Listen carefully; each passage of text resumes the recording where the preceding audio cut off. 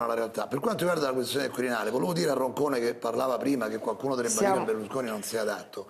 Io ribalto il ragionamento perché Berlusconi lo si può giudicare come si vuole, ma nel campo della politica, nel campo dell'impresa, nel campo dello sport, nel campo delle relazioni internazionali, ha ottenuto nel dopoguerra italiano i migliori risultati che abbiano ottenuto altri protagonisti del mondo dell'impresa, del mondo dello sport, del mondo della politica. Oggi siamo preoccupati per l'energia, che è un problema serio, però come si risolve? Non mettendo solo soldi nelle tasche italiane, certo quello va fatto fatto per l'urgenza, ma ritenendo dei rapporti internazionali con la Russia, con altri paesi che oggi mm. sono assolutamente deficitari.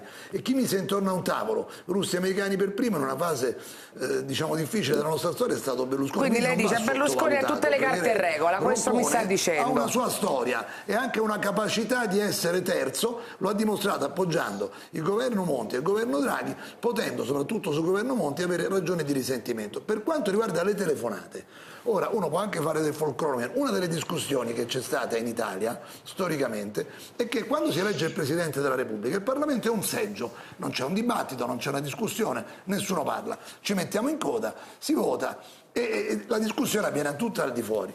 Ovviamente la prassi è questa e non credo che sarà cambiata. Quindi se una persona che vuole proporsi contatta dei parlamentari parlando di quello che farebbe C'è niente di strano, okay. io non lo trovo assolutamente scandaloso. No, però Gasparri, Gasparri è scandaloso, è scandaloso. Però, scusi Gasparri, Gasparri però è scandaloso che Berlusconi, mi scusi, una cosa velocissima, è scandaloso, gravemente scandaloso che Berlusconi provi, cosa? cerchi di andare al Quirinale prendendo il voto di questa parlamentare. Eh, questo sì che è scandaloso.